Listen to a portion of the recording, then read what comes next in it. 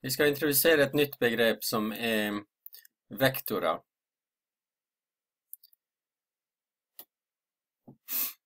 Hva er en vektor? For å forklare det, så kan vi ta et eksempel med en gjenstand som ligger på marka. Jeg tegner det som et, uh, en firkant her.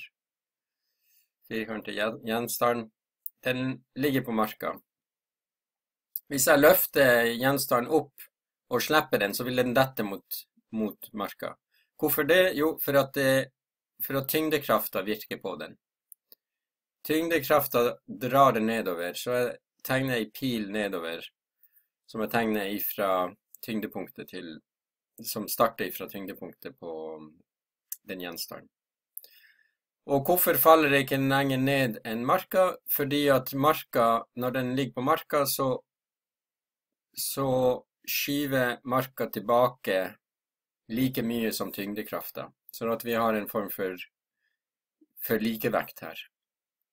Og da tegner jeg ei pil oppover ifra marka, ifra altså kontaktflata mellom gjenstand og marka, og oppover.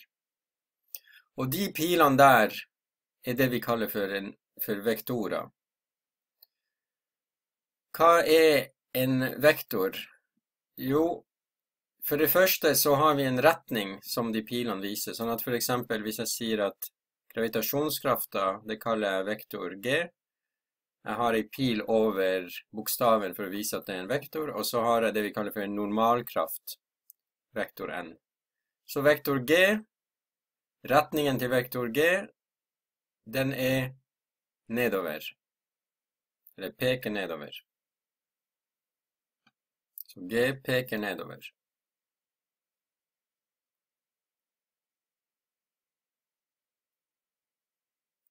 Og N peker oppover. Og så kan vi tenke oss at vi trekker den eh, gjenstanden bortover langs marka i denne retninga. Så har jeg da Jeg kan kalle det for ei trekkraft som jeg kaller S, f.eks. Vektor S. Og S peker på tegninga altså mot høyre.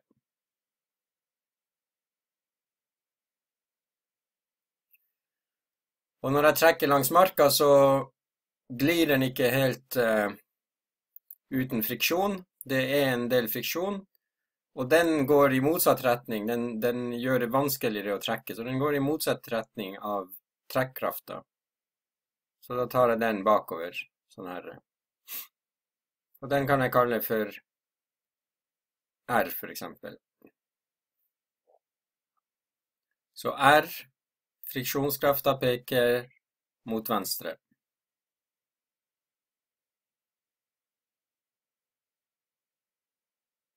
Så de vektorene her, de har hver sin retning. Og det er litt forskjellig fra et uh, vanlig tall som vi er vant med fra før Hvis vi sier f.eks.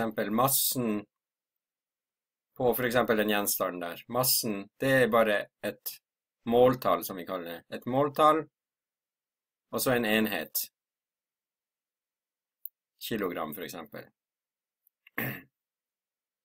Hvis vi tar en temperatur Det er også et måltall.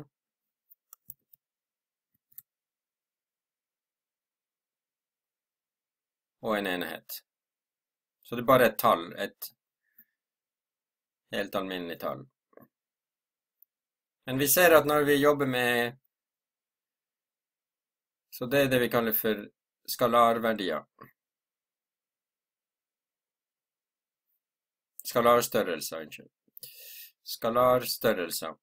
Så det er Det vi har jobba med inntil nå, det er skalar, skalarstørrelser. Det er altså størrelser som vi oppgir med et måltall og en enhet. Nå skal vi introdusere det som heter vektorer. Og i en vektor så har vi sett at da må vi ha en retning. Derfor skrives, når vi bruker bokstav, bokstav for å skrive en vektor, så har vi alltid en pil over bokstaven. For å vise at her er det snakk om en vektor, ikke, et, eh, ikke en skalarstørrelse. Så det har en retning. Og i tillegg så må vi vite, f.eks. hvis jeg tenker på trekkrafta, ja, hvor mye, hvor stor er den trekkrafta? Så vi må også ha et måltall her. Så vi må ha et måltall. Og en enhet på det måltallet.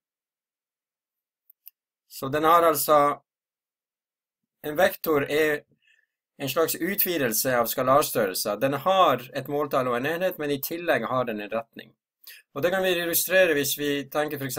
På, eh, på fart. Vi jobba med fart i kapittel to, hvor vi bare hadde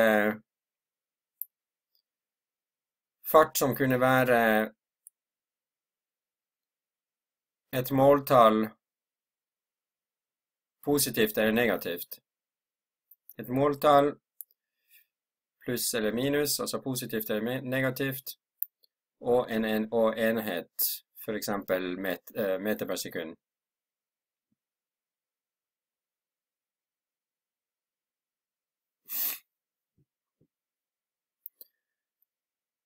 Ja, da vet vi, hvis vi tenker på Hvis vi ser på en gjenstand som beveger seg i et kart, f.eks. Og så sier vi bare hvor stor farta er. Vi, sier, vi gir bare et måltall og en enhet. Da vet vi ikke om den beveger seg i den retninga, den retninga, den retninga.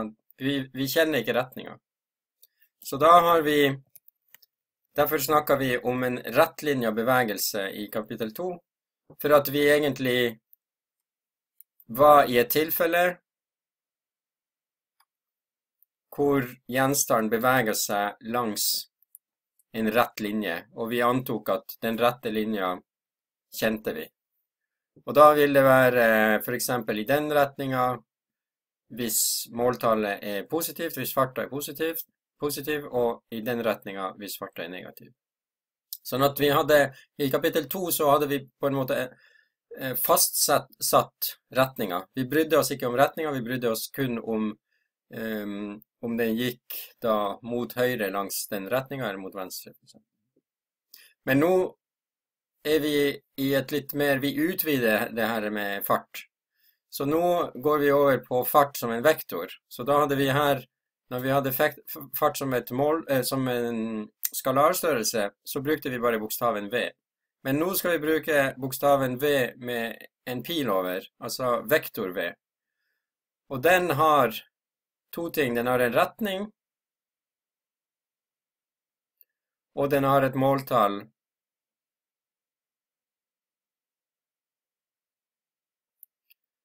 Og en enhet. Og måltallet og enheten, det kan vi skrive bokstav V. Så vi har vektoren V som har en retning og, og, og et måltall og enhet, og bokstaven V som er måltallet og enheten til den vektoren V. Vi kan også bruke en annen eh, notasjon. Vi har to måter da å skrive måltallet og enheten på av en vektor. Enten så har vi, hvis vi har en vektor V, så sier vi at den har en skalarverdi. Det er her skalarverdien. Altså måltallet og enheten, det er det vi kaller for skalarverdi. Og en skalarverdi er en skalarstørrelse. Det er et tall og en enhet. Så, så um, vektoren V, skalarverdien av vektor V, og da kan det være V, det kan være vektor F, osv. Vi tar enten å skrive det som bare bokstaven uten noe som helst, eller så kan vi bruke en notasjon som er kanskje litt mer innvikla. Vi tar vektoren V, og så har vi den mellom to loddrette streker. Så det, det er to måter å skrive skalarverdien på. Så da har jeg forklart hva som er grunnen til at vi introduserer vektorer. Grunnen til at vi introduserer vektorer, det er at når vi begynner å jobbe med krefter så trenger vi å vite i hvilke retninger eh, eh, peker de her kreftene.